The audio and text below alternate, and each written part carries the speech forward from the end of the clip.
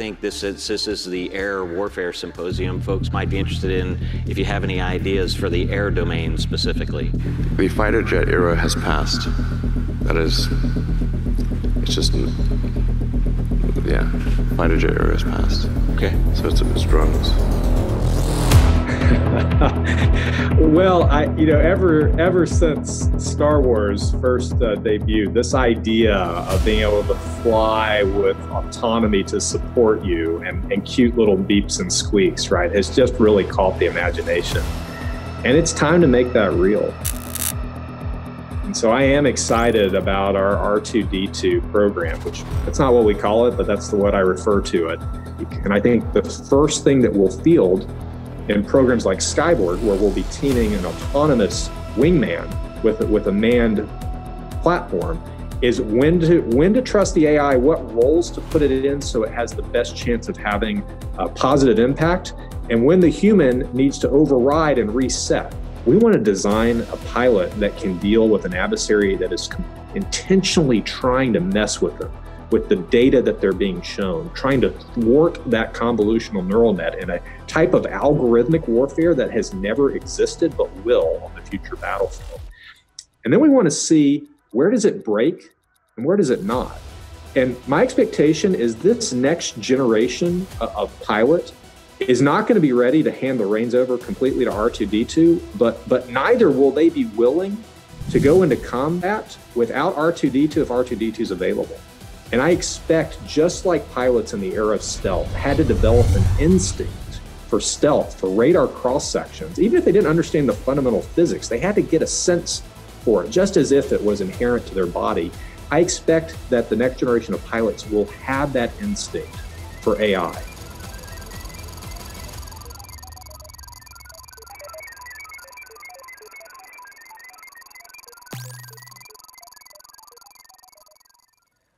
Good morning and welcome to a virtual AFA.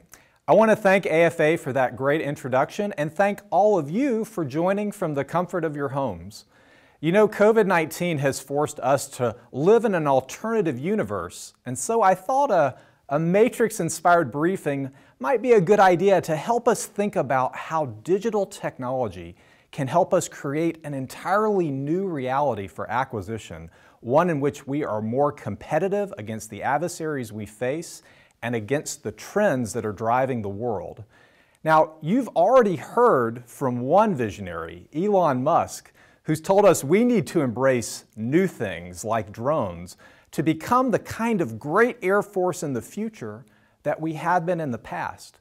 But let's hear from a second visionary of commercial tech, Jeff Bezos, who's built one of the most successful companies in history, and hear how he thinks we need to maintain disruptive agility for a disruptive world.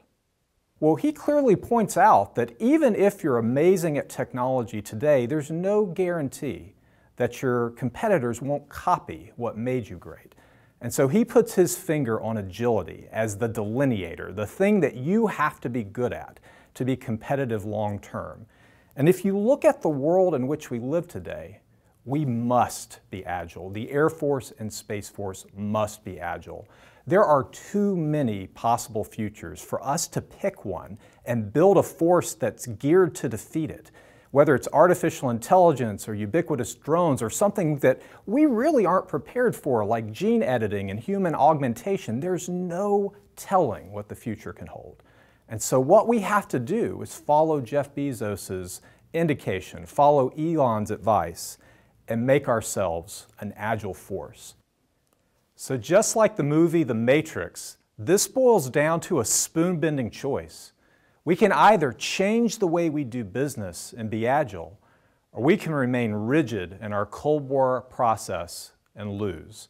And with Chief Brown and Chief Raymond telling the entire Air Force and Space Force we must accelerate change or lose, we have to do our part in acquisition. And that means fielding war winning systems as fast as today and tomorrow's adversaries and tech trends require. The technology is going to dominate a lot of our discussion today, and you know I dearly love technology. But let's not forget what actually makes agility happen. Agility is created by people. People that are going to go after those conventions and try to tear them down, but are mission focused, that get the job done no matter what it takes. And it's the culture that those people create that ultimately get the job done. So we can't make an org chart our process for agility. We have to invest in our people and the culture that we have within the Air Force and Space Force. And over the past months, we have needed our people and their agility more than ever. When COVID 19 hit, there was no playbook for a pandemic in the Defense Department. And if you didn't know this, the Department of the Air Force had a significant role to play, not just for the department, but for the nation as a whole. If you've heard of the Defense Production Act, it's been in the news. It's the act that allows the Defense Department to work with industry to stand up new product lines, new supply chains. Well, we're the executive agent. We're front and center for the nation on that act. And so we had to stand up a task force to mobilize just as if we were going to war, to do our duty for the nation, but also to fight back on the impact of COVID 19 on our industry base.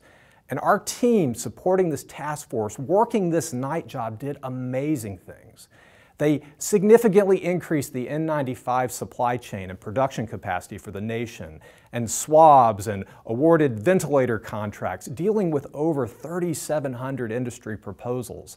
We also ran the front door for FEMA and the DoD as a whole, a way for small businesses, for innovators to get their ideas to us so that we could fight back on the impact of COVID 19 as a whole. And the amazing thing is that everyone did this working remotely.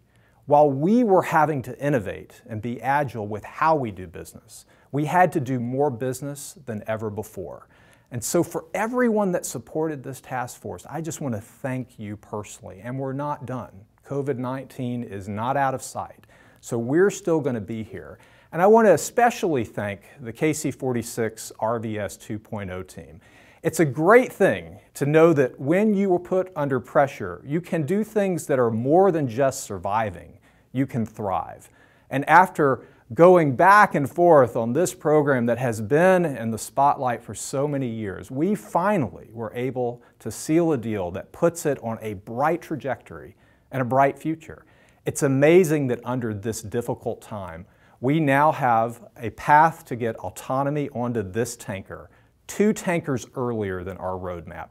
That shows you the level of creativity and agility that you can achieve when you have to have it. But it wasn't just COVID 19 responses where we excelled. We kept our day jobs too. So many programs continued to innovate and push the envelope even while working remotely or having to stagger work shifts going into the office for classified work. And this slide alone says amazing things happened just over the past few months. We awarded the second space launch contract. GBSD hit its milestone B. Successful hypersonic flight test, the Collier Trophy for the X-37B, amazing work by AFWERX and AFVentures, Kobayashi Maru, OCX, AFRL with the quantum accelerator, and so many others. This is just meant to tell you, to tell you, the Air Force and Space Force, that your acquisition team is becoming that agile company that Jeff Bezos said is so important. So as we look ahead, being reactively agile is good. We have to be able to deal with the unknown. We're a military, we must go to war during uncertain times. And during COVID 19, we were ready to go to war on any given day. No major shutdowns, no major breakups. The readiness of our military was never in doubt and never impeded. But if we're going to compete long term, then we've got to do more than just react. We have to proact. We have to be ahead of trends that we know will impact and change the world. Now, I know you're accustomed to me having a few hashtags to drop during my briefs, and this year is no exception. So I want to highlight three areas that we have to be proactively agile. We have to seed the battlefield in these areas because these areas have the potential to not just change our lives, not just change the military, but change the world. So we can't sit back and wait for the next lightning bolt, the next unicorn, the next disruptor. We have to be that lightning bolt. We have to be that unicorn, that disruptor. And it all starts by broadening our aperture about how big our tech ecosystem really is. We have to become a commercial Air Force and Space Force, a credible partner in innovation wherever we find it. So there are so many examples of the Air Force and Space Force becoming an innovator in commercial tech. I could spend a whole briefing just on this, but let me highlight just a few to give you an example of how far we've come. Just one short AFA ago, I walked you through how we were standing up a new investment arm called AF Ventures that was starting to co-invest with private investors and that we were leading up to the world's largest single-day tech startup event. Well, we pulled that event off during COVID 19 virtually, awarding almost $800 million in awards to amazing companies who have the aspirations to change the world and on their way to doing it, being able to change the Air Force. Well, since that time, We've consolidated AF Ventures, the Agility Prime Flying Car program, which is just another example of us being on the front lines of the innovation battlefield wherever it is. And you can see our Chief of Staff of the Air Force, Chief Brown, ready to fly to work if we let him. We need to be where innovators are. Well, we have grown from bringing a billion dollars of private investment to over three in less than a year. And our trend says this is going to continue to grow and grow. No matter who you are in the Air Force, if you're an operator, a tester, a maintainer, an acquirer, anyone, then you have an imperative to stay up with commercial tech and use AFWERX as our investment arm to bring technology innovators to your mission. Arms are wide open and sky or space are the limits. It's not just been in aircraft type innovation, though flying cars are certainly cool and awesome and an example of us ensuring that if new things are going to happen in the world, that they happen on our watch and with our help. But we also saw amazing commercial innovation in space, and this one, folks, has been long in the making. So a program having to successfully navigate tech maturation and operational constraints is daunting enough. But our space launch program had to stand up a domestic space launch enterprise capable of meeting our needs in the military, but also commercial domestic ones. And we are finally across that goal line, folks, having awarded the next five years of not just launch for the military, launch for the military, the intelligence community, and an industrial base that we helped build that's capable of launching satellites for the nation, commercial or military. Amazing example of us seeing that the future has to be dual use, working on both sides of the aisle, not just building military unique systems like the Cold War. And if you think that innovation is only relegated to things like airplanes and satellites, no, there's amazing innovation, amazing commercial innovation in our nuclear enterprise. So the ground-based strategic deterrent program just got to award its engineering phase. So congratulations team, what an amazing accomplishment. But what you may not know sitting at home is that some of the world's leading software technology is coming to bear in this program, in a nuclear program that is a must succeed program. So Kubernetes or containerization is an open source technology trend that is just going viral right now and it solves a critical problem for us. So I'm sure you know that when we develop software, it's usually in something like a laptop or a server, some place where a lot of people in t-shirts or hoodies like Kessel Run or Kobayashi Maru or Level Up or Space Camp or any of the software factories that have been so successful over the last two years. And the one that I'm showing here in this slide, is an example of Ski Camp that's just stood up out at Hill Air Force Base to support GBSD. Well, we are bringing this latest technology that solves an amazing problem, how to get from those laptops and servers out to the edge. Now you can understand why that would be so important for internet technology. Get from the cloud out to your device, but the same technology helps us get from the cloud out to our missile or our airplane or our satellite. Following this commercial trend so we don't have to create it ourselves Just another amazing example of us broadening our aperture and becoming a commercial first service. Because if we don't, we face another spoon bending dilemma. Folks, right now, the Defense Department is only 20% of our nation's R&D. That's a complete 180 flip from the Cold War where we were 80%. But that doesn't mean that we've gotten bad at technology. It just means technology's changed. It's ubiquitous and volatile, like Jeff Bezos mentioned. And so with technology being cheap and ubiquitous, it's everywhere and all the time and in so many different areas. So if all we do is think about the next generation in terms of what we can do with defense unique companies, then we're putting ourselves in a one-fifth slice of the pie. And that's not a big enough ecosystem to win. Now, is it going to challenge the way that we design systems, build systems, certify, do acquisition, do testing, do everything? Of course it will. It's the reason why we have organizations like AFWERX. It's the reason that we are encouraging programs to push the envelope. We have to have our envelopes pushed, even burned, because if we can't work in our entire tech ecosystem, we will lose to adversaries that can tap all of theirs. So Air Force and Space Force, this is a spoon-bending dilemma that we have got to get right. Well, let's say we get this right. So we become an amazing commercial innovator.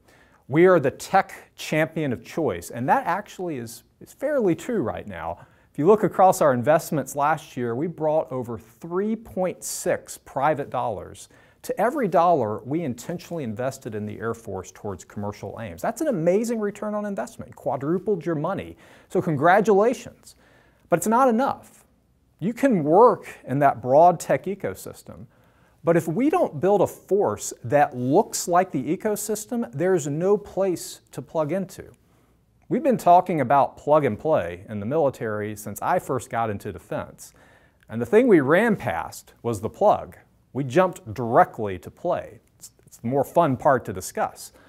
But to get plug right, you've got to go to a level of technology the Defense Department has historically sucked at. So just as a cute example, if you're sitting at home, you could ask Alexa, how do I agilely connect the force? And I did this before coming to shoot this video, and she's not going to give you a satisfactory answer. But the amazing thing is the fact that we can even ask the question is also its answer. If we want to agilely connect the joint force, then we have to do what makes Alexa work this amazing system of systems that goes from an edge device that has its own local sensing and processing that you interface with, connected to an entire internet, an entire cloud and data and analytic backbone that allows that local device to be so much more than a phone. It's touching the entire world of data. Well, you know the talk here. We put lightning bolts on PowerPoint slides. They're not real. They don't actually connect anything. And so the answer to how do we connect the joint force agilely is we have to build the internet for the military.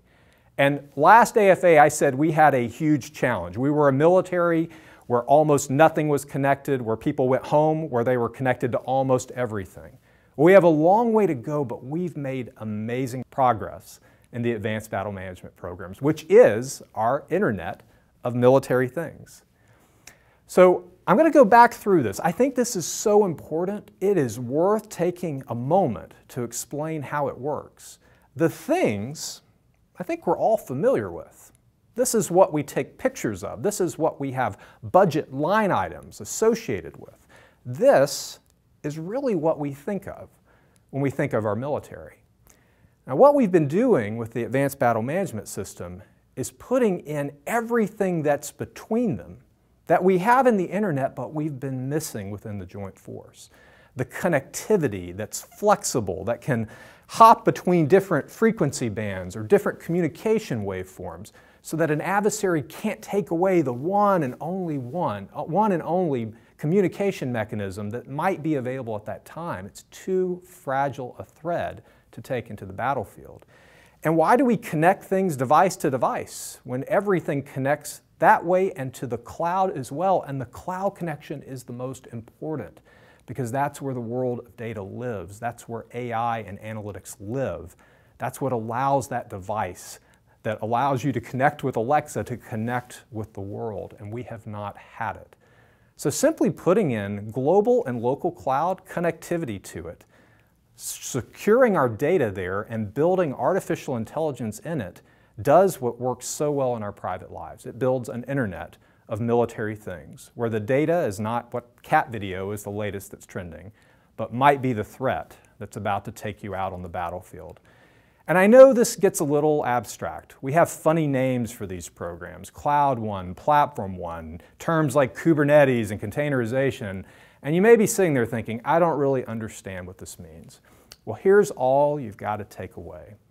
If a program has one at the end of the name, even if you don't understand the tech, it's all about making the Joint Force act as if it's one system of systems, just like the internet. And if names and graphics don't really motivate you, let's talk specifics. So once you have an Internet of Things that can fight at machine speeds, what can you do with it? And this problem for me, folks, is personal. This takes me back to 2012 when I first came in to the Defense Department working for Secretary Ash Carter. One of the very first things that I told him is that base defense, whether you can do it or not, is one of the most important problems that you can solve in the Defense Department, one of the most important for our deterrent and warfighting posture. But at the time, this was before machine learning and the AI advent within the Pentagon. This was a wicked hard problem. Well, now, a few years later, the wicked hard problem can be solved fairly straightforward by technology that empowers your personal lives. And so in the second on-ramp event that we just did a few days ago on the 3rd of September, we connected multiple sensors together that were feeding different views of a real simulated attack on the homeland, on a homeland base. Real cruise missile surrogates flying. We tracked them with multiple sensors. We connected those tracks to a variety of different outlets, people and analytics and AI and operators through connectivity that we have in the military, like Link 16, but we also use new things like 4G and 5G connectivity. It's the wave of the future. But that connectivity wasn't just happening device to device, it was all happening inside the cloud, both globally and out at the edge. And the pièce de resistance was passing all of that cloud-based, AI-enabled data into one kill chain that a human could understand quickly and give the command to do something I've been waiting to see for seven years, which is seeing a hypervelocity gun, which has the speed and price point to be able to do base defense, take on a cruise missile surrogate in the real world. And with no further ado, let's show you the gun and let's show you the video. We have, a single detect of something coming over wayfront trip line, so it saw something.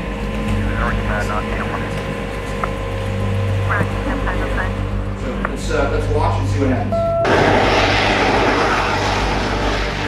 Eight, seven, six, five, four.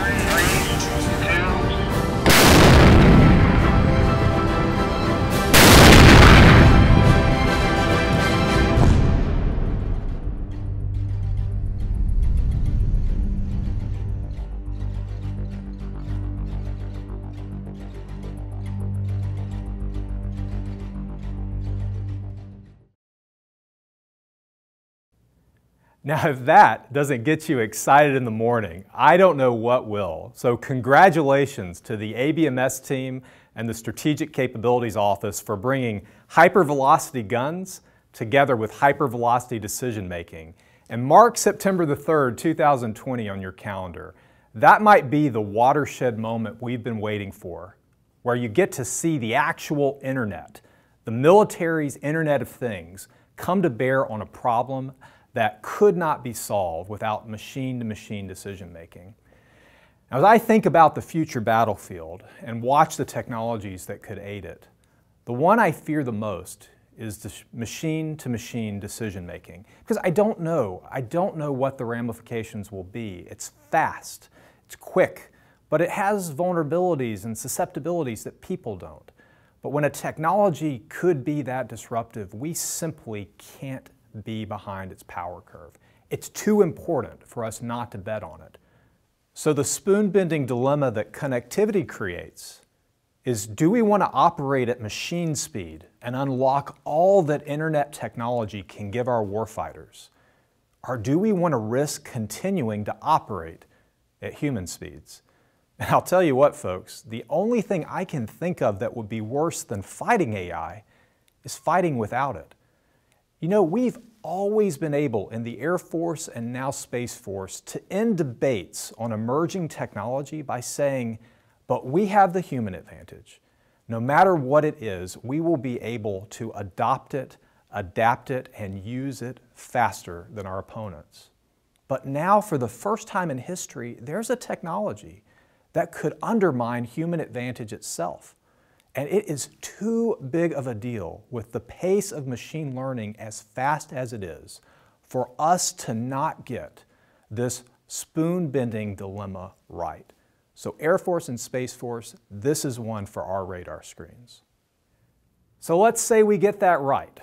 We have become an amazing commercial investor. So, you know, hashtag commercial Air Force. Let's say we have gotten connectivity right, so we're hashtag connected Air Force and Space Force. Well, that's still not enough. It'd be great to have a lot of commercial technology coming in, and it'd be great to be connected like the internet. But we are still a military that has to build unique things. Uh, as much as I admire companies like Amazon and, and Elon, SpaceX, and Tesla, I know I can't go to Amazon Prime and order a hypersonic weapon or a stealth bomber, but I'll see if Jeff Bezos is going to try to change that anytime soon. We have to build things that are unique to the military. And the more amazing commercial technology becomes, the more amazing our military technology is going to have to be to overcome the advantages that are available to all. We have to remind ourselves commercial technology is not going to give us any kind of exclusive battlefield advantage, simply going to be available to everyone. And so the last area that we have to have strategic agility is in being able to comp computerize or virtualize everything about our development and production, assembly, even sustainment of systems, so that we can finally get past the tyranny of the real world and take learning and feedback into the digital one. So if we were to do one of those funny ask Alexa a question again. So Alexa, how do I maintain an agile force if 70% of my program funding is trapped in sustainment? You can probably guess that's a trick question. You can't. Right now, 70% of every dollar we spend is trapped in a part of acquisition where we have, we have yeoman airmen and space professionals that keep legacy systems operating, but it consumes our budget. It is such a big force that it limits our ability to create new and dominant things, and we have been stuck here since the Cold War.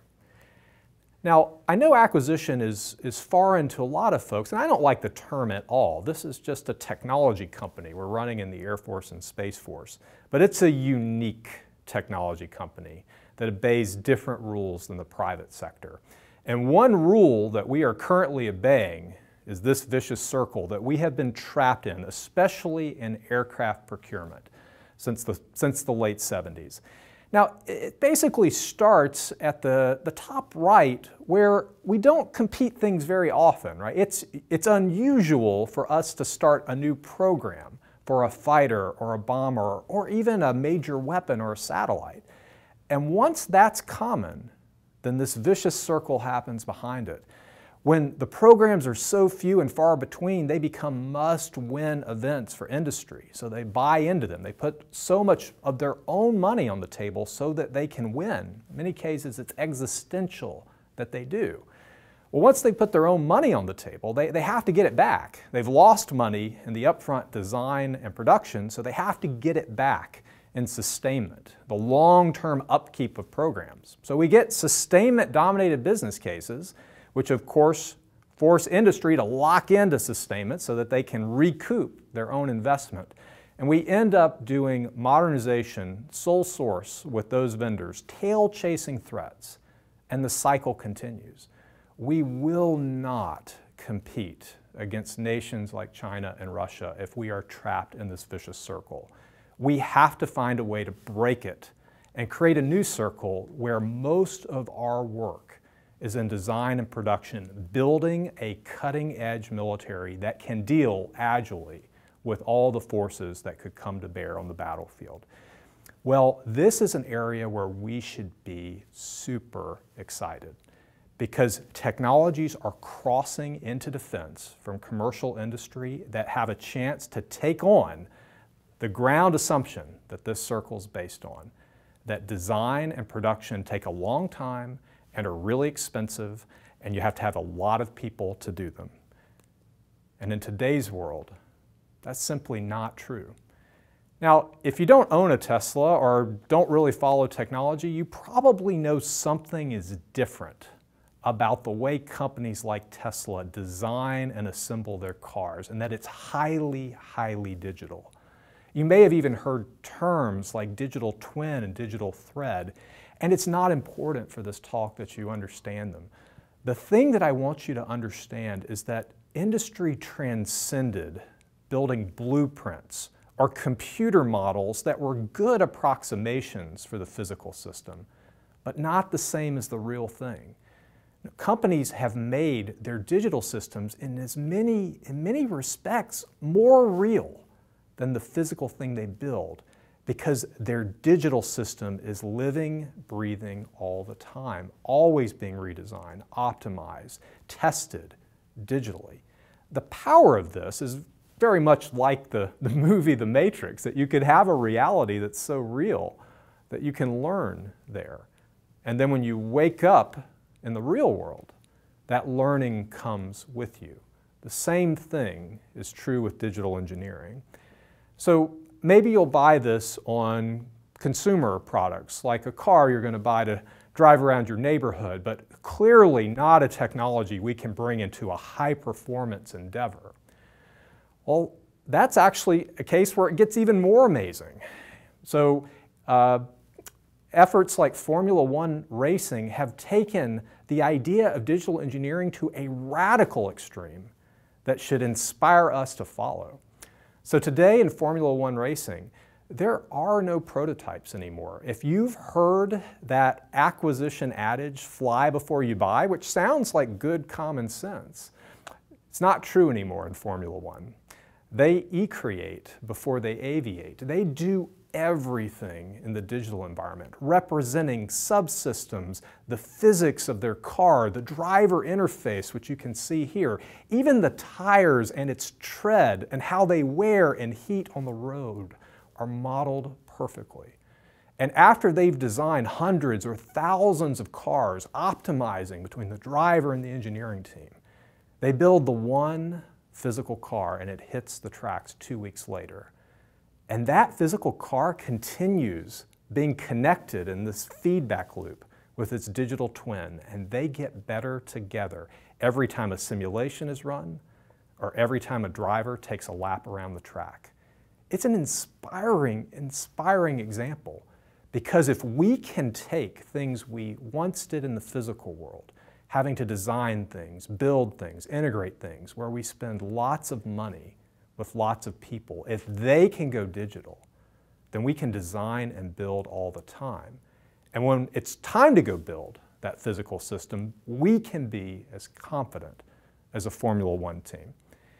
And if you're thinking, well, maybe a ground vehicle like a race car, maybe that's okay, but hey, Will, uh, we're an Air Force and a Space Force. We work in some of the most hostile environments of all, and if our systems don't work, they fall out of the sky or fall out of space. Well, you've heard the Secretary's announcement of a new series of systems within the Air Force and Space Force, the E system. So think of it like the E equivalent of your e-book or email. This is an E airplane, an E satellite, an E weapon. And it's so much more than just simply being a digital rendering of something we're going to build physically. This is a system that contains everything you need to know about the real system that will ultimately be used on the battlefield, or in the case of T7, be used to train operators who will go on to that battlefield. So the performance of T7 is amazing. The ability to build an airplane the first time as if you have already built 100 is game-changing Air Force and Space Force. If that doesn't seem like it opens up a paradigm, I promise you it does. Learning curve is dead, integration is dead, flying before you buy is dead if we choose it to be.